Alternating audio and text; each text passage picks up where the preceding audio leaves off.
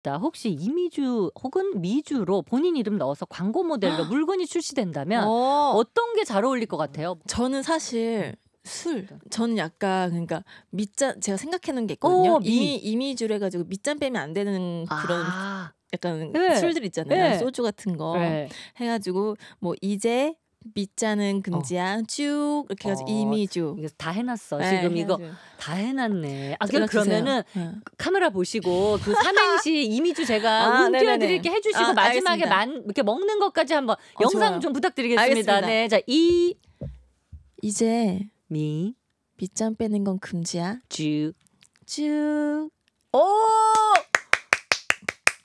목 넘김이 너무 부드러워.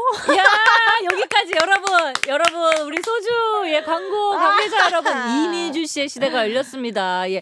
많은 분들이 하고 계시는데 이미주 네. 씨꼭 이루어졌으면 좋겠네요. 아.